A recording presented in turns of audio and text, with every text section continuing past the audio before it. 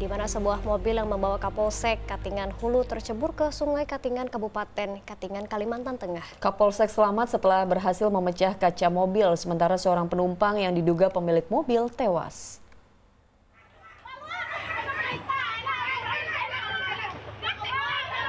Dalam video amatir, tampak mobil yang dikemudikan oleh Kapolsek Katingan Hulu hanyut terbawa arus sungai Katingan pada minggu siang.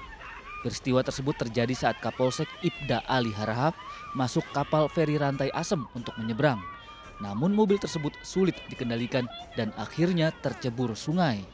Meskipun Kapolsek dan seorang penumpang berhasil keluar dari mobil, seorang penumpang lagi hanyut setelah terjebak dalam mobil.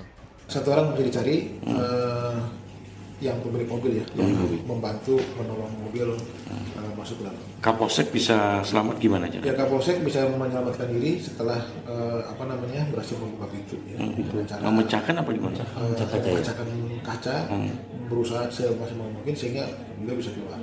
Sementara dua hari melakukan pencarian, tim SAR gabungan akhirnya menemukan mobil dan jenazah korban. Kemudian dievakuasi ke RSUD Mas Amsar Kasongan. Untuk mengetahui penyebab peristiwa itu, Polda Kalimantan Tengah saat ini masih melakukan penyelidikan. Syahrul Mubarok melaporkan dari Katingan, Kalimantan Tengah.